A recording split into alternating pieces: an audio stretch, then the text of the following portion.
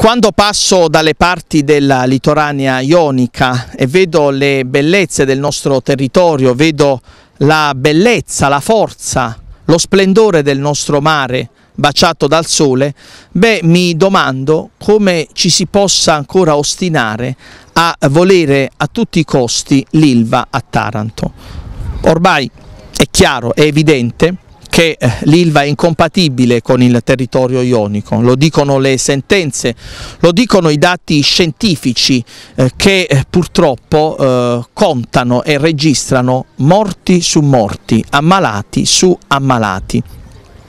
L'Ilva non è compatibile con il nostro territorio. L'Ilva, a mio avviso, e a giudizio di tantissimi tarantini, va chiusa, va estirpata, senza se e senza ma. Vedete, è una situazione incredibile quella di Taranto. Taranto, dicevo, ha uno splendore unico e la nostra realtà viene, eh, come dire, invidiata da varie parti d'Italia, da varie realtà italiane.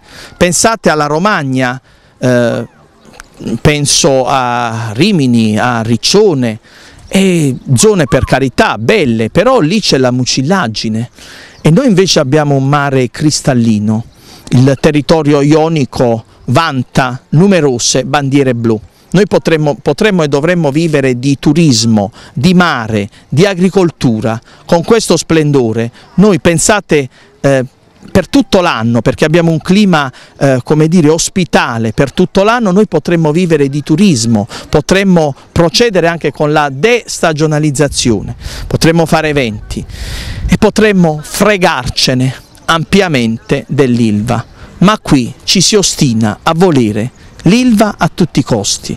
Per comprendere bisognerebbe mettersi nei panni degli ammalati di cancro, bisognerebbe pensare a chi non c'è più. E queste immagini che ora stanno scorrendo, questo contrasto tra mare, sole e Ilva, beh la dicono lunga su, quella, su quello che dovrebbe essere il futuro di Taranto, un futuro purtroppo che ci viene negato, perché continuare a difendere l'Ilva significa spezzare la vita dei nostri figli. Meditate cittadini, meditate.